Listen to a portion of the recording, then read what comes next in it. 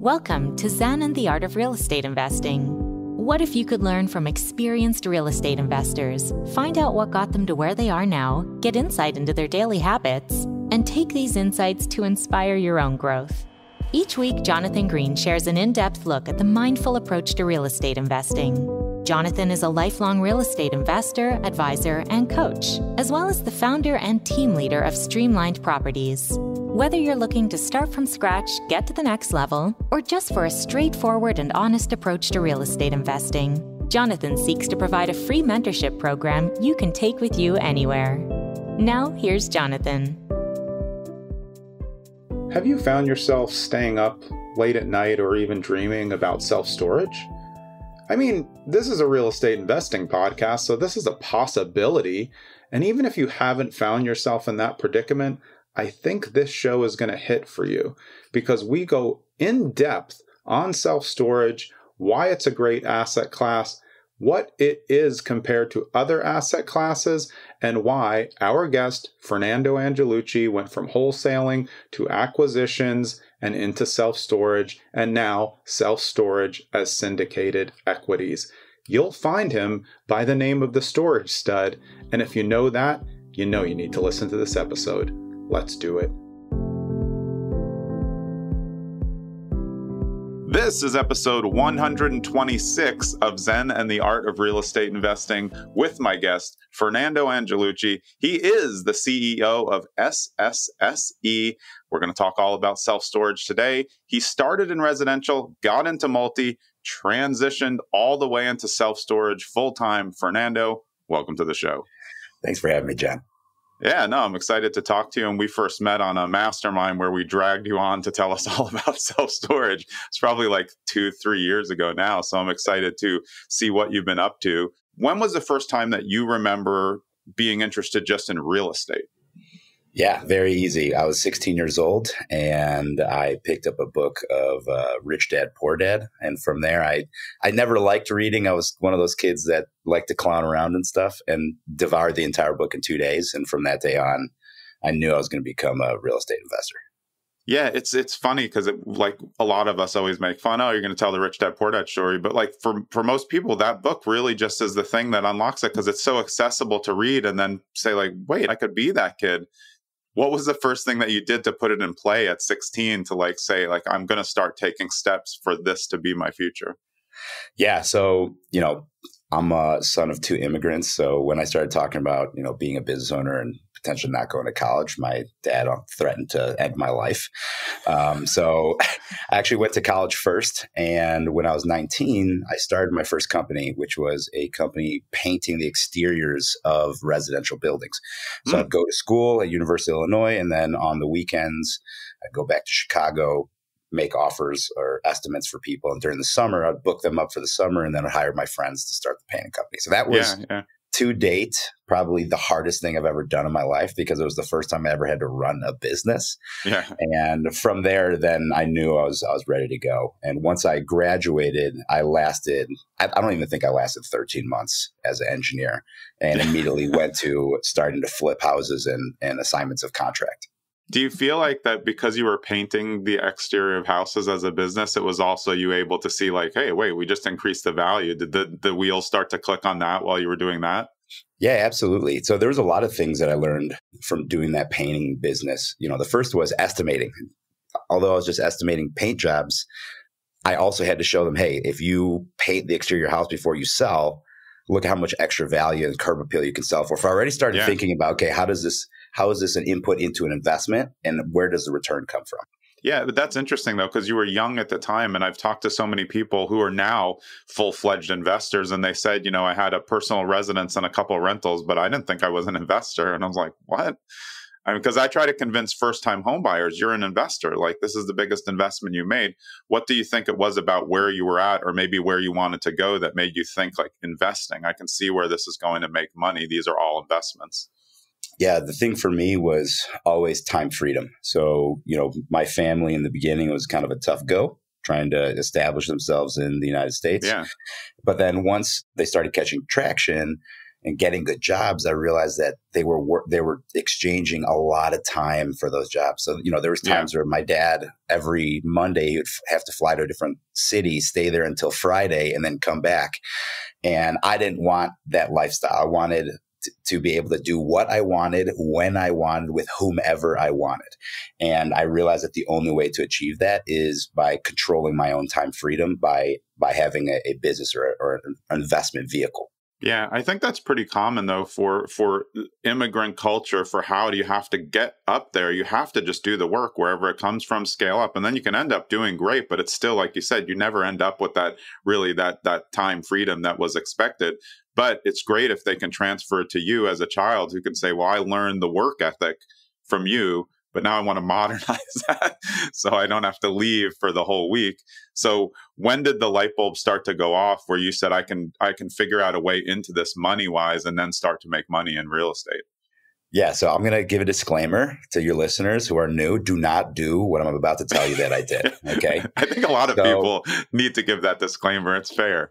So at the time, I didn't have much money. I was about maybe six months or seven months into my job at a Fortune 50 company.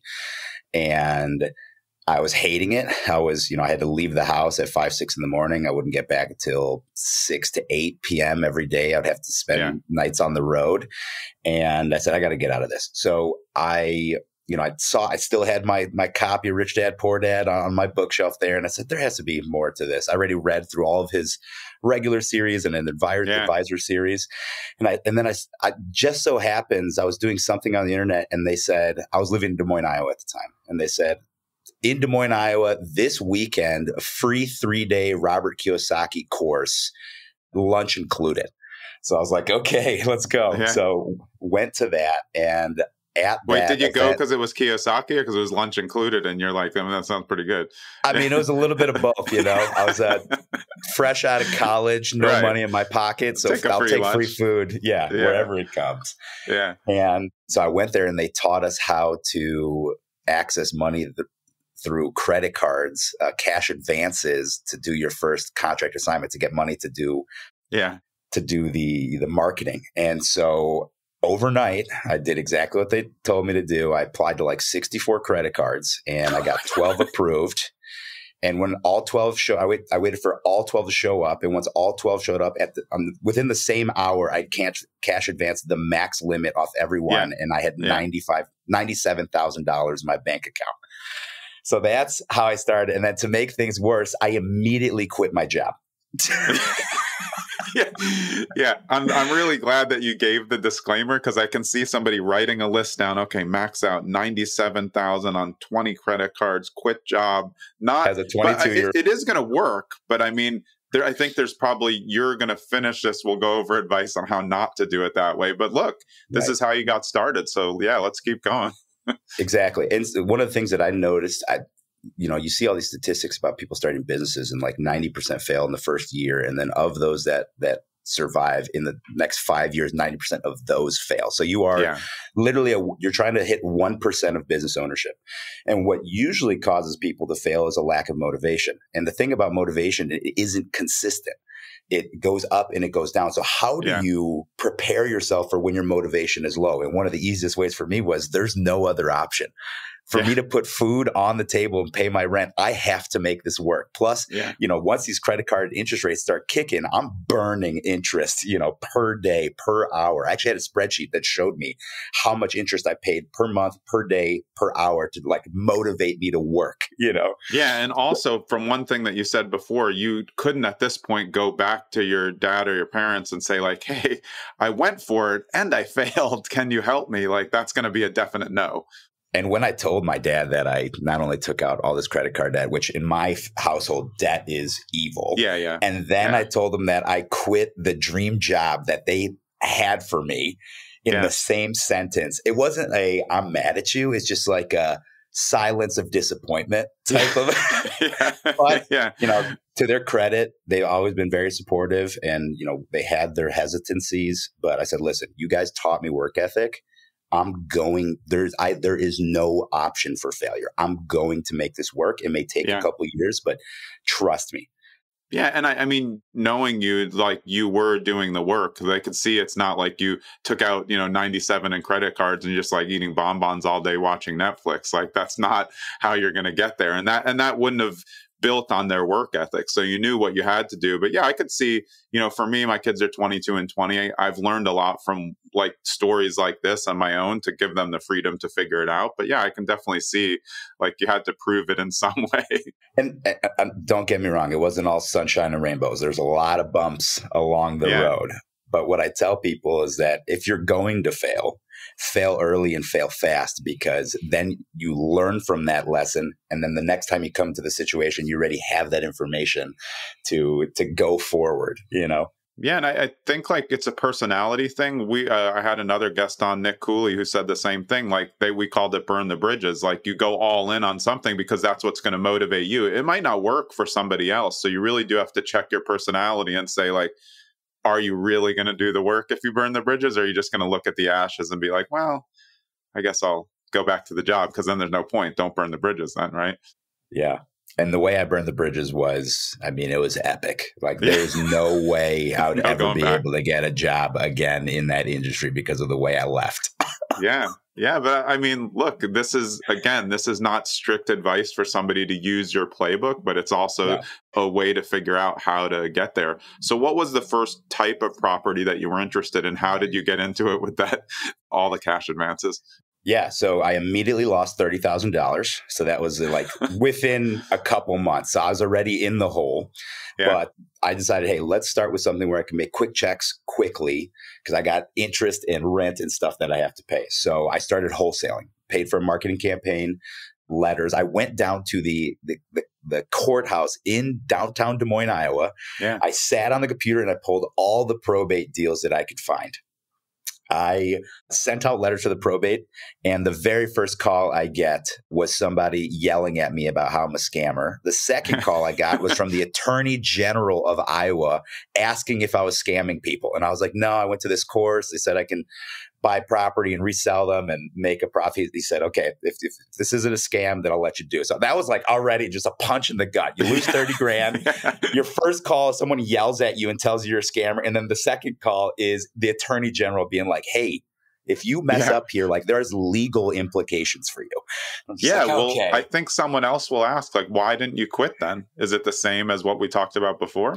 Yeah, it's it's one of those things where like there was no option to quit. It was you just had to keep going. So eventually, one hit, I got a, a duplex under contract then I had the problem where I didn't have buyers. So I had to go out to my, my network again and say, who knows how to sell this contract that I have now? So yeah. I always tell people, you don't need to know A through Z. You need to know A. And once you're done with A, then you can get to B. And you may have learned things in step A that allows you to get to, to B without knowing that before you started. Right. So yeah, I was just, I was just trusting in the process, you know? So I found a guy, we ended up joint venturing. He took half of my assignment fee and I ended up making $2,500. And that was the best $2,500 I've ever made in my life. Yeah. Yeah, I think it's one of those things where you see it happen and realize there's a profit. It doesn't really matter what it is. It's like, well, I didn't lose it money works. and I learned a lot. Like you learned yeah. a lot just on that first deal. You go from like not just A to B, you go from like A to Z right away because every and, and I mean, I think probably all of us still do. You know, you probably still have deals where like, wow, that one never happened before. It's just that that's part of the process. So you, you complete the duplex and then are you saying like, okay, this is it. I'm going to try to do this as many times as possible. Right. This works. I'm going to try to scale this up as fast as I can and not with the intent of staying a wholesaler because I didn't like the feeling of buying something or putting under contract, selling to somebody else. And, you know, there's that dealing with the uh, someone's investment. You like you said, a homeowner, you are an investor because it's the biggest investment yeah. in your life. Yeah, yeah. And I didn't like the feeling later on of you know somebody come back and say, "Well, I could have sold this for more to directly to your investor." Now they didn't have the network yeah. I had; they didn't have right. that, so I get it. So immediately I took the proceeds from the wholesaling and started buying rental properties. Yeah, that's smart. That's that should that I mean that should be the goal. I mean, there's definitely wholesalers who run it like a business and do it like a business, but I think what you said is really correct. There's just something because you're a middle person in wholesaling, it's just not necessarily as gratifying. It's just money gratifying. You can help people, but still you're you're just the conduit. So it's right. only like a little bit fulfilling and then sometimes not. And don't get me wrong, like I it's not like I did my first deal and started buying assignment, you know, yeah, yeah, During that, while I was buying rentals, I was still wholesaling. We got to up to the point where we were doing like 70 contracts a year, 80 contracts a year. So we were making good money to buy these yeah. investment properties. Yeah, yeah. Then enters my next phase of my life, which is having tenants. And looking back, I wish I would have just skipped completely over this step because it was yeah. a nightmare, especially because I was chasing yield. So I was buying things in the south side of Chicago, yeah, uh, yeah. middle of nowhere, Indiana, because I saw some high cap rate on some spreadsheet. But then in reality, right. that's not what actually happens, right? Yeah. Yeah you were you're chasing a solid cash flow means very difficult tenants usually usually when the right. cash flow is overwhelmingly like how is this even possible it's usually because the tenants are difficult or there's you know uh, undone repairs i'm just tell you right now unless you're a huge company that knows how to operate in very challenging areas you're not going to get those returns on paper i'm just going to tell you yeah, just assume yeah, yeah, 60, exactly. 50% of the time you're not going to get rent yeah. so your your 18 cap is now like an 8 right or exactly. less so it's right. just not going to happen yeah so I got tired of tenants, toilets, and trash very quickly. Evictions that lasted nine months, pouring concrete down the plumbing out of spite. Uh, it was just a nightmare. So I said, you know, I can't, I can't deal with people anymore like this. So I said, okay, what assets can I go into where I don't deal with people? And the first was data centers. Didn't have, you know, a hundred million dollars to mount up my first data center. So that was immediately out. The second yeah. one was mobile home parks. And I called some people that I knew had mobile home parks, and I was like, "Oh, you know, they just rent the lot, right?" And he's like, "Dude, that's not actually how it happens. Either you're going to yeah, get yeah. those properties back, you're going to have tenants again." I'm just like, oh, "Okay, so that's not going to yeah. be an option." Yeah. And then I found out about self storage, and it checked all of the boxes. I said, "You know what? No evictions. No one's allowed to live in my asset. Everything's made out of concrete and steel. You can't damage it, you know, easily unless you run a, a truck into it."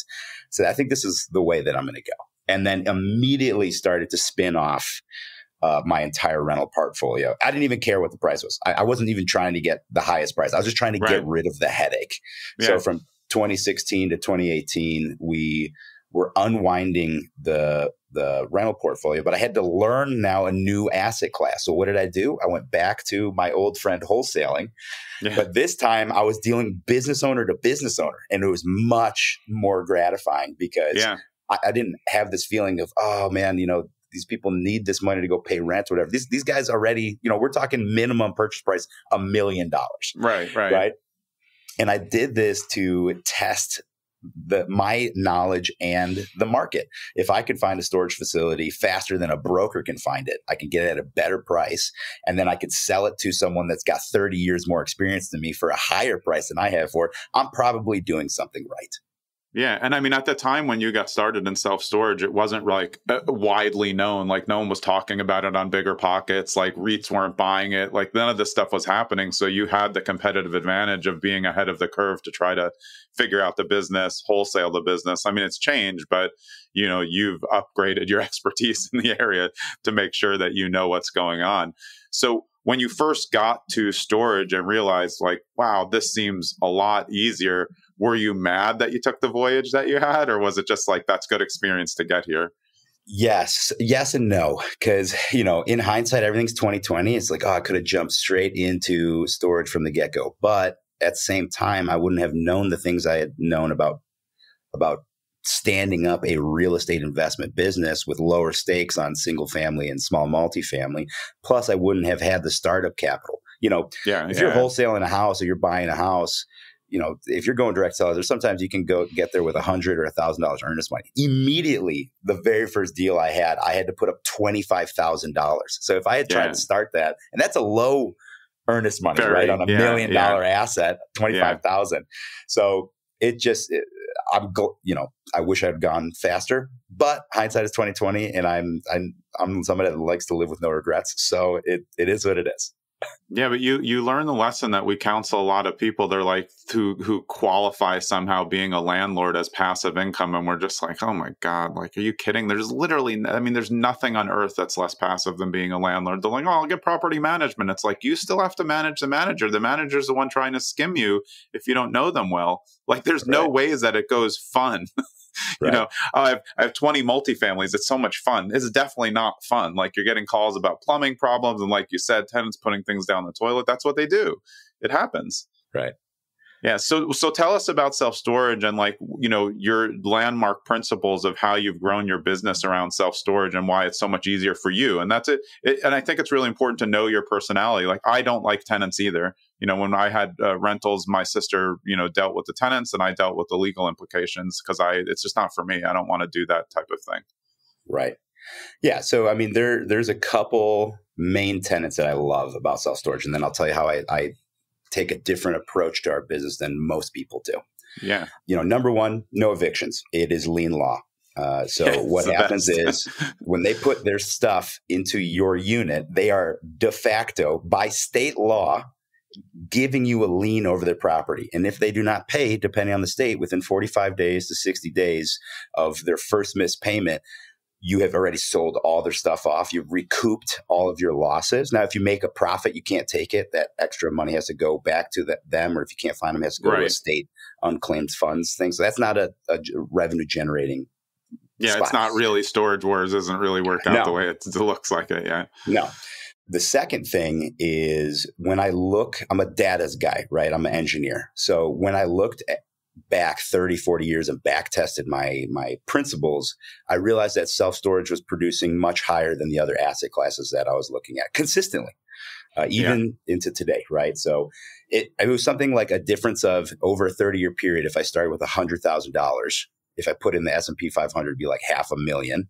If I put it into the into multifamily, it'd be like 1.8 million. And if I put it into storage, it was like 4.1 million because compounding is the yeah. eighth wonder of the world, right? Absolutely. So that's the the second reason I love it. And then the third reason I love it, it has this this sticky factor.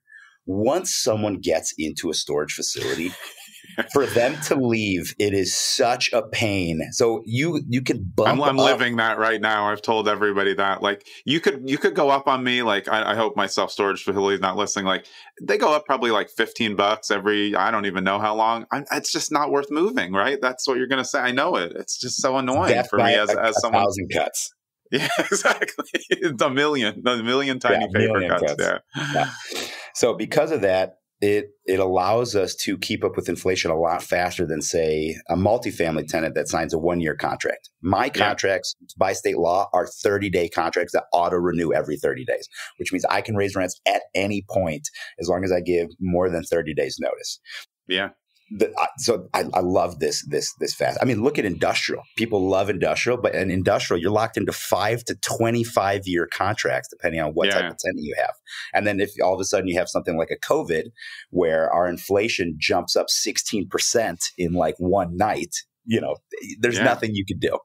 You're locked yeah, in. But- that it's funny though because we were talking like compound interest how good that is but that's really basically self storage it's like if you just if you look at the time like if i look at what i paid when i first got my storage unit and what i'm paying now i want to jump out a window but just those little things it just doesn't make it worth it. You know at some point i have to just move but then i'll move to a storage unit. They're just going to do the same thing. So, like because that it's, it's, it's, fair. It's just just part of the business. And they do i mean there are ways to make self storage now which i'm sure we'll talk about much more technologically advantageous to you less staff uh, which is probably part of the way you turn around facilities Right. So those are a couple of the reasons. I have a whole presentation on like 11 reasons why I love self storage, but we don't have enough time here. So if anybody wants to find that, just follow our social media or, you know, maybe I can come on again. Who knows? Yeah, absolutely.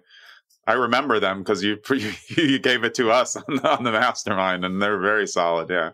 Right. So now let's let's talk about how I decided to approach the storage business differently. Yeah. Most people they approach a real estate investment business as a real estate investment business. And that is the wrong way to approach a business. You need to approach this business as a marketing company. That is what it truly is at, at its core of every part of the, the, the chain. So number one, marketing to get deal flow, off market deal flow, or even on market deal flow, as long as you have yeah, the right yeah. connections. So that allows me to get a first look at every property before anybody else does. And I can make an offer faster because I had marketing to get the best people right? Yeah. And then I have the ability to cherry pick. and there'll be I can pick the cream of the crop. And then if there's still deals that are very good, but I just don't want to put my money into them or they don't match my investment thesis, I have to market to find other buyers. And then one of my tools in the tool belt is I can wholesale off contracts to help pay for the marketing or for down payments on existing facilities, right? Yeah, yeah. The other piece is you're scaling up a business and eventually you run out of your own capital and then you eventually run out of your friends and your family's capital. And you still want to you still want to build this up. So where do you find money? So now you got to create a marketing arm just for capital just for right. real estate investors you know and passive and passive investors. So now you have to go on this massive marketing campaign. You have to get your your name known. You have to present at conferences and masterminds and speak on podcasts like we're doing right yeah. now for people to know who you are, right? And then you have to get them through the investment funnel to get them to say, "Yes, I would like to give you my money so that you can give me a good return on an asset." Right? Yeah. So that's the way that we always approached it. Yeah, I mean, I like it, and I've always said I think that I, I've always thought that the best wholesalers are actually investors who become the best marketers, and then they have overage. They they they're so good at marketing, like you said. Hey, I'm getting first look. I can cherry pick the top ones, but like, why would I give up money on the rest? So then I'm going to wholesale the rest. Eventually, you can say, okay, well, we can keep them all. We're going to build a fund, but like that just goes to exactly what wholesaling is all marketing. I mean, right. that that's what you're just trying to get enough things in the funnel so you have things to choose from. I think that's a really, really good point that you made about that. Yeah. So now, you know, fl- flash forward to today, we have basically these three and a half strategies, the half being the wholesale. The first is what we started with, which is buying these smaller secondary and tertiary market mom and pop deals. These are good because day one, they are cash flowing. So it makes it easier to get debt from a bank. It makes it easier to get yeah. money from an investor that wants something that's going to produce, you know, quarterly distributions.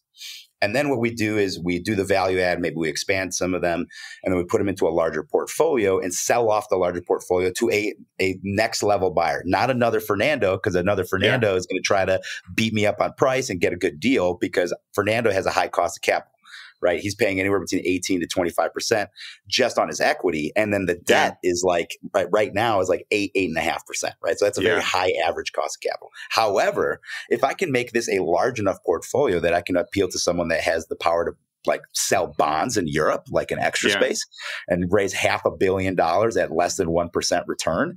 And then they have a credit line with, you know, let's say Blackstone, and that credit line is a revolving line based off their assets. So the rate is at, you know, at the time 2.1 or 2.5%.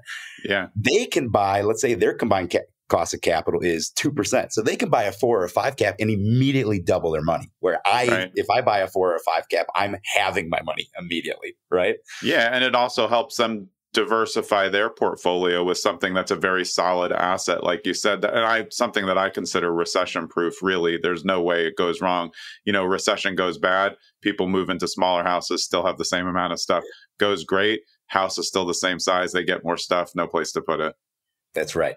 So that's that's where the opportunity is, right? That's my first strategy. I'll tell you the other two. But that's where yeah. one of the largest opportunities in the self-storage space right now is is because of this aggregation that's going on. Storage right now is where multifamily was in the 80s, where these big guys are trying to get as much of it as they can because they control $3 trillion of investment capital and they need to put it on the street. Yeah, and um, but one one reason why what you can do works so well is because the bigger conglomerates, they're not going to, to, the mom and pop. It's not worth them to try to buy one mom and pop or even take the time to negotiate that. So they need you to take it, put it into a smaller portfolio that becomes bigger so they can buy it, right? Yeah, because think about their overhead. You know, you have you have Ivy League analysts that have very high salaries. What this does not worth the time of even one employee yeah. to negotiate a million dollar facility. deal. Yeah, just it doesn't make sense. But if you bring a portfolio of 20 of these assets and now the purchase price is in the 25 to 50 million dollar range, now it makes sense to have that Ivy League kid spend his $180,000 a year salary underwriting your portfolio because it's a one large check you know? Yeah and you and you've also presented a much better product for them to underwrite on their own instead of trying to figure out you know you know mom and pop storage. It's like you're like oh let me see the books and they pull out like a piece of paper and you're like mm, oh, really? Yellow legal this is how we do it. i've already had uh, sellers where i asked them to email me their p&l's and they literally mail me a yellow legal pad information with all their financials on it. Yeah. It's like, okay, I guess we're doing this. When when the pad comes out from under the table on a self storage appointment, you know, like due diligence is going to be fun. but you also know you're going to make a lot of money on that Exactly. deal. it's in there. It's in there. They haven't accounted for a lot of things. They don't know a lot of the numbers. There's definitely money to be made. That's exactly Right. true. and also these larger buyers, you know, as you keep going up the feeding chain, they don't want hassle. So they're not going to go do a value add like this. They're going to want me to do it, stabilize the asset, put Yeah. technology in place so it, you can run it from an armchair and then sell it in a portfolio with 20 others that are identical to it. Yeah. Right. Hey, this is Jonathan. Thanks for listening to another episode of Zen and the Art of Real Estate Investing. On this brief interlude, I wanted to tell you that we have a mailing list. I actually don't love mailing lists. There's so much. This is not an automated mailing list where you get on a drip campaign. These are written once a month, will eventually be at once a week again by me direct and they're not spammy. So if you want to sign up for our mailing list, you can go to bit.ly slash streamlined with a D mail. Bit.ly is bit dot ly slash streamlined mail. See you there. So that that is vertical number one. The problem with vertical number one is it takes a long time to get a lot of square footage under your belt, right? Yeah. So then, once I had enough capital and experience to start building them, uh, we went to vertical number two, which is building class A REIT grade facilities. So instead of buying, you know, Joe's storage of 20,000 net rentable square feet, I'm building, you know, social self storage, three story, 120,000 net rentable square feet, six of Joe's facilities in one with rents that are three times the cost, right? So that's what we started doing, buying land. And now we had to learn a new vertical. I know how to find storage. I know how to underwrite storage. How do I find land and underwrite land to make sure I'm not overpaying, Right. right? Yeah. So then new marketing company that we had to form basically it's inside of our company to figure out how to do that. That is all fine and dandy. But then all of a sudden the pandemic hits. Okay.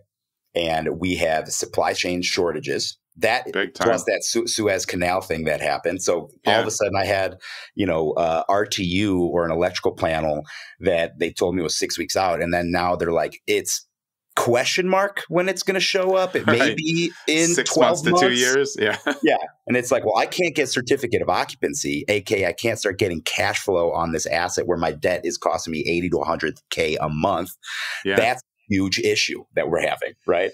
So then we formed the our third vertical because at the same time, big box retail was failing. No one could leave the house. Everybody went to Amazon and it's Yeah. destroying companies like Sears, Circuit City, Best Buys, things like that. But they Yeah. have these types of properties are in prime real estate locations, high visibility, high traffic counts, high median incomes, and surrounded by dense residential, which is exactly what you want for storage.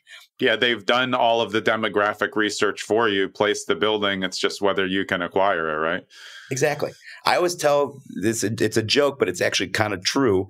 In our company, we say, if I can smell McDonald's and see a Walmart, it's probably a good place to put I- storage. I, agree. Yeah. And and even better, now we, we we we like to follow. This is a secret, so don't tell anybody. Yeah. But what we like to do now is we follow where Sherwin Williams stores go, as well as Home Depots. They have some of the best demographic underwriting we have ever seen. So if you can, if you can see now a Sherwin Williams, so if you can smell paint and smell sawdust, you're probably Yeah. doing good in, on Right. your location. Stop with the coffee and Whole Foods. Or those those are those are pretty good also in Trader Joe's. But I like that. It really makes sense. It also goes to where there's going to be more development, most likely, because they've done the research on the development. That just means more incoming, and then you can be way ahead of the curve on the price, right? And that's where the the big cash cow is buying, right? Yeah, this is great, great advice. Instead of me, instead of me buying a, a million dollars an acre because it's already, I'm already saturated around me.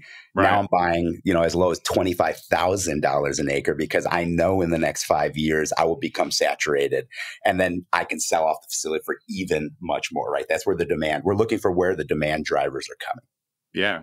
Oh, that's outstanding. So because of that, we started going to these areas where, you know, great visibility, great location, and the only problem was that no one could leave the house. So I was able to buy, like, for example, we did one outside of Columbus where we bought a Sears building for $9 a foot.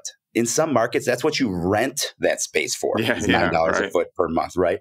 Now, we bought the facility or we bought the shell, and that did two things for us. One, we already we we're walled in. We're away from the elements because you can't pour concrete in the winter in the north. You can't pour concrete in the dead of summer in the south because it's either too hot or too cold. So now we're we're compressing our timeline, which means now I'm saving that sixty to eighty thousand dollars a month Yeah. in interest by Right. cutting you know three or six months off of my my build time.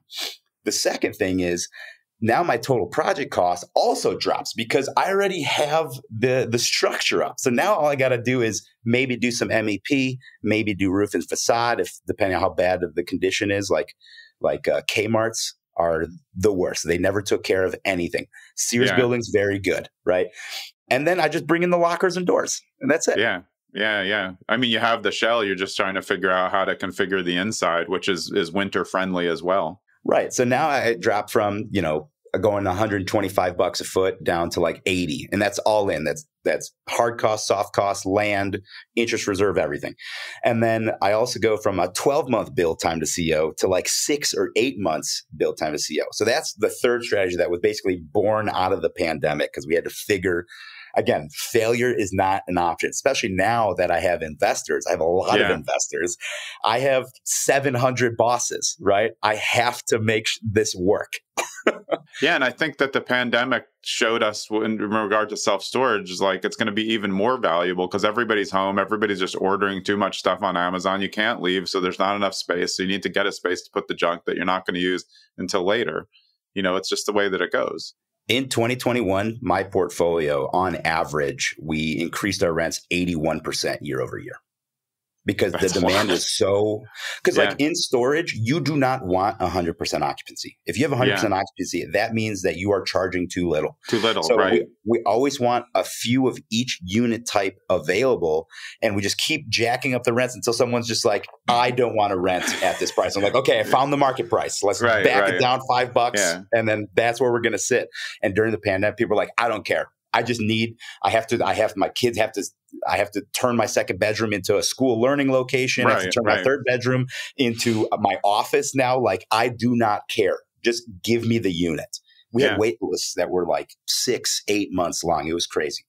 It makes sense though. Yeah. I mean, a lot of people went and bought houses, but then they realized like, oh, well, we kind of quick bought that house. Now we still need self storage. So, Yep. and we Yep. overpaid for the house because we were in a panic.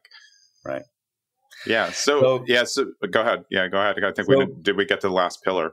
Yeah. So those are the three main pillars. But then again, that that half pillar was if a deal came across the table where I just it didn't fit our investment thesis, or now because we have larger limited partners that come in and they have a specific buy box where I have to be in a you know whatever top fifty MSA, it has to have these type of demographics because that's what you said you'd buy when Yeah. we gave gave you the money. Then I can also just move that over to other other investors that maybe it's their fifth facility only or or their first or even you know we have some buyers that they're on facility 70 right they're larger than us but they have Yeah. less restrictive criteria than we do Yeah. No, I mean, uh, I, I feel like this is an asset class that should be really interested for the people who like you and I. Like, just landlording sucks for them because this is just modified. You there, there's almost no contact with with the the you know quote tenants, the people who hold the units. Right? It's all automated or electronic now.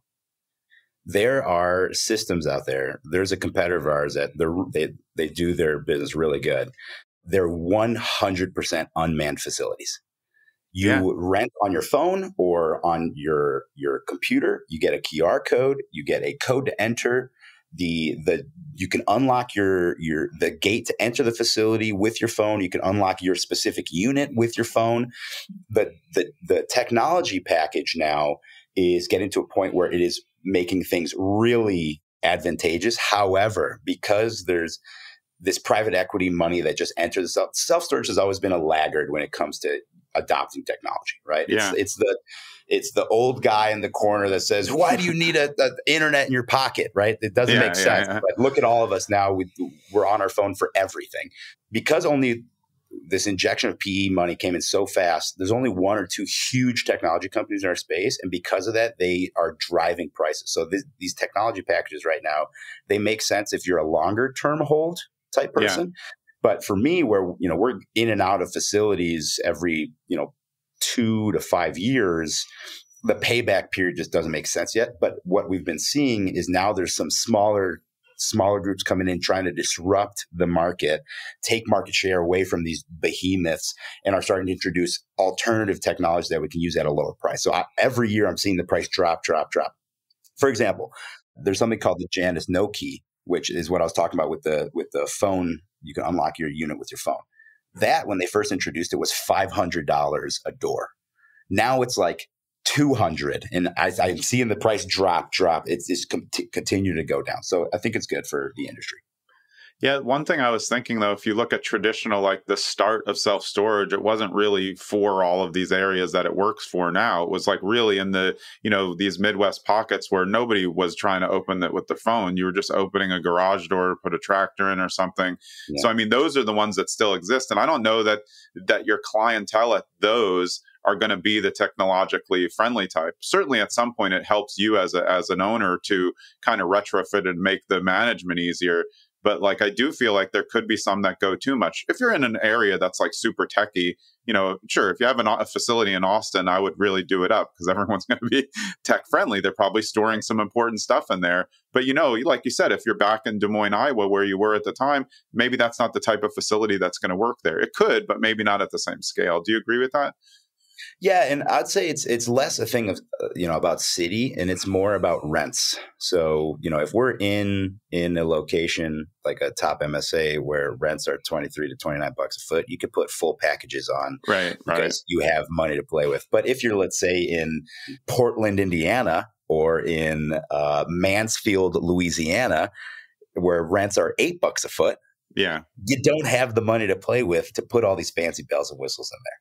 Yeah, but that's important for people to know who want to get into the space and just think like, oh, I'm going to make it, you know, super tech friendly, but they want something that's affordable, so they buy something in one of those areas. Like we say, great areas, but not maybe necessarily ready for that uptake. They could spend a bunch of money and then realize, like, no, you're still at eight bucks, you know, eight bucks a square foot. You're trying to get twenty, but the the area doesn't support that.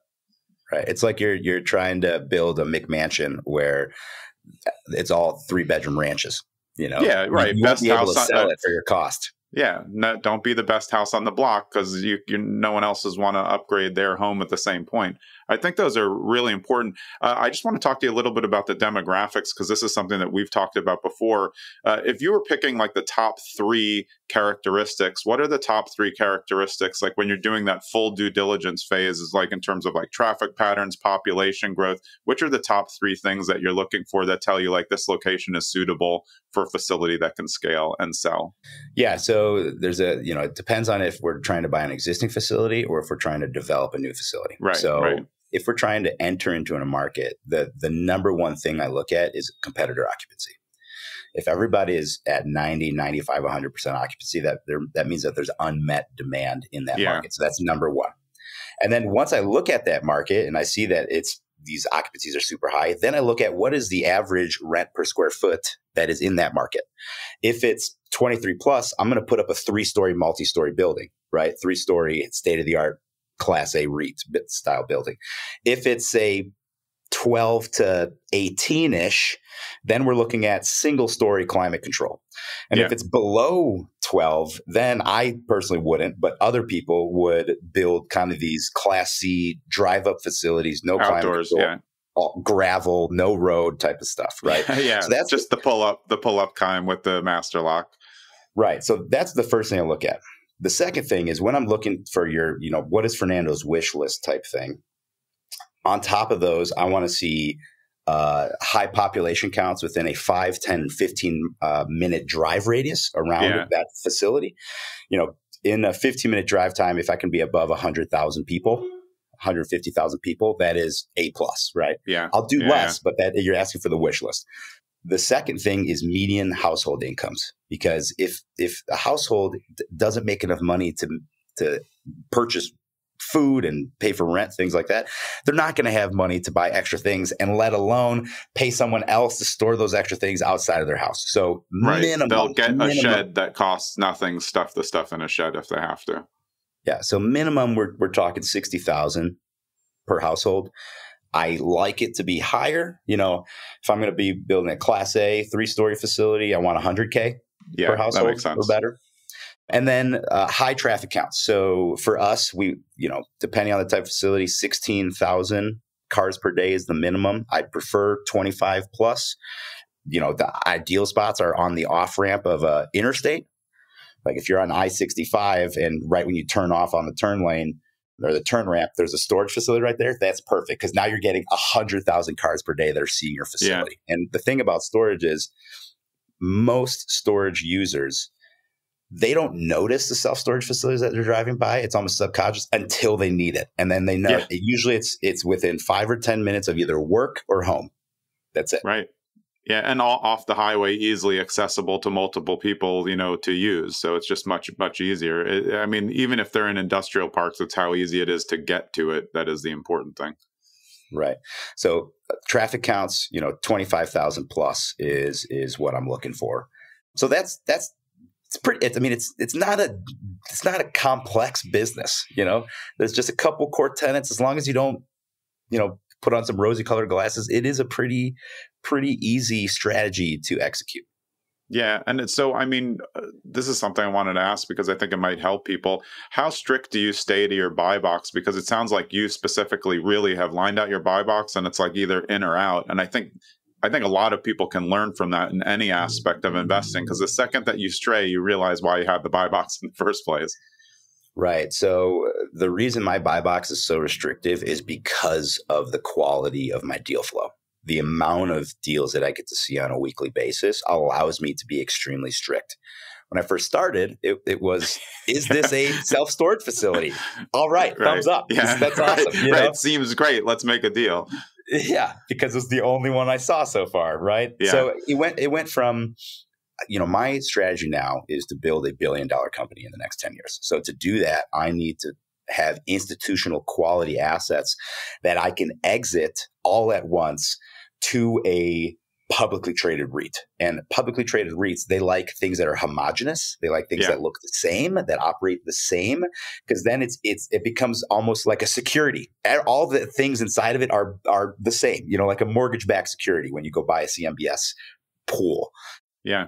So that is why for us, and I can tell you my buy box in case there's any wholesalers or aspiring wholesalers out there that would like to send me some deals. Yeah. We look for deals that start off at 35,000 square feet or larger. And the reason for that is below 35,000 square feet, managing these things becomes very cost prohibitive when you're bringing a third party like we do now. We used to self manage, we don't do that anymore. With the ability to expand and increase the footprint of that facility over 65,000 square feet in the next 13 months. And these numbers are very special for this reason.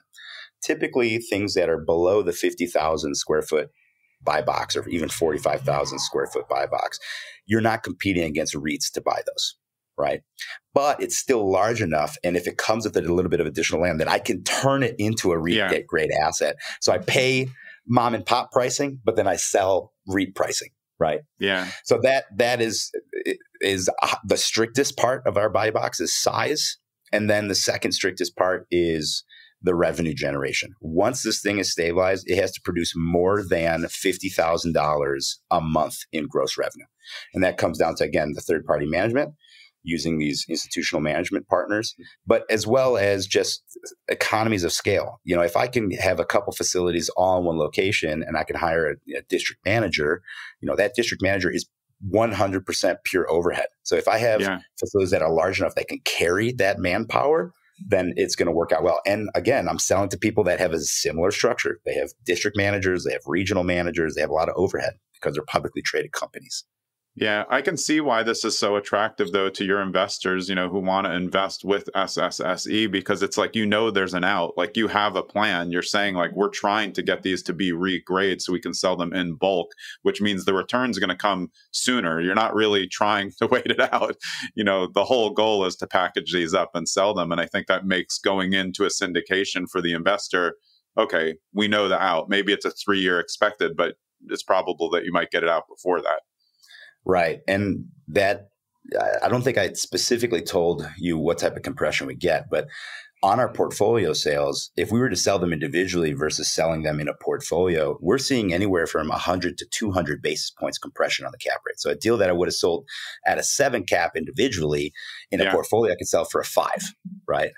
Yeah, I mean that's the benefit of exactly what you're doing, but you but it takes a lot of work to get there to make them all this way. So I think you know we don't want people to miss that that you're trying to package multiple facilities together, upgrade them all, increase the size, but then also increase the package so that's attractive to somebody. Do the due diligence so it's easier for them, even with those IV educations looking through yeah. it.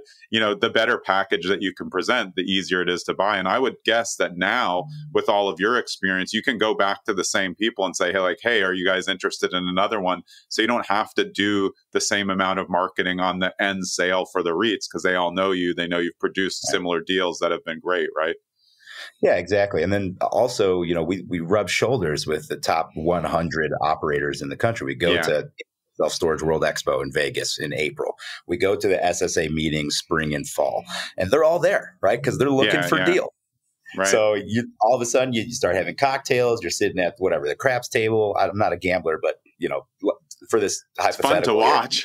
yeah, I mean, I think it's a little overstimulating, but the yeah. nice thing is, all of a sudden, you you know, there's 2,000, 3,000 people at this one casino for this event, and everyone right. you talk to is like, "Oh, I'm head acquisition for public storage, or I'm an acquisition manager for extra space, or and it's yeah. and then all of a sudden I have now I've just cut out brokers because I don't need yeah. If I already know, the, and I ask them, what type of product are you looking for? Give me your buy box. And then I specifically start building and buying facilities that fit their buy box.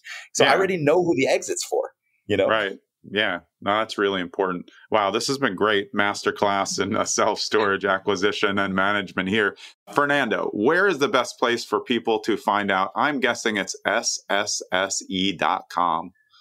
that's if you're more type of passive person, that is where you're going to go. If you are somebody that likes to kind of grab the bull by the horns, what I do for everyone, especially on podcasts of this quality, is I'm going to give out my cell phone number. It's area code 630 408 8090. That's my real phone number. You can call, text. text is the, the fastest Much if you better, want yeah. a response immediately, but you can call as well. But yeah, if you want to see, you know, if you want to sign up as, as an investor, you want to sign up as a buyer, go to triplese.com.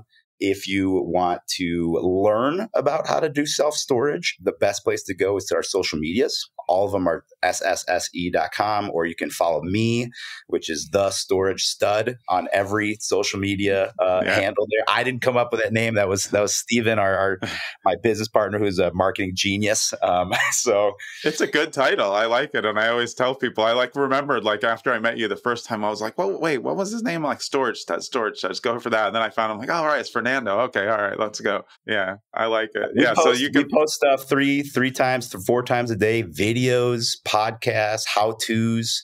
You can literally sit right behind us and watch us how we do our business. Yeah.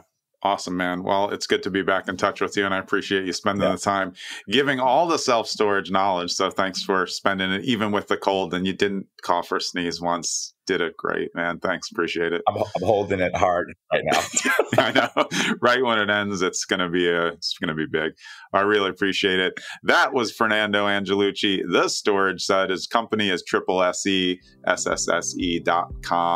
I'm Jonathan Green. We'll see you next episode. I hope you enjoyed that episode of Zen and the Art of Real Estate Investing with me, Jonathan Green, And I just want to remind you, and this is always an uncomfortable part, I don't want you to think that I'm begging for you to like, subscribe, follow, do whatever you have to do for the podcast, leave a five star review.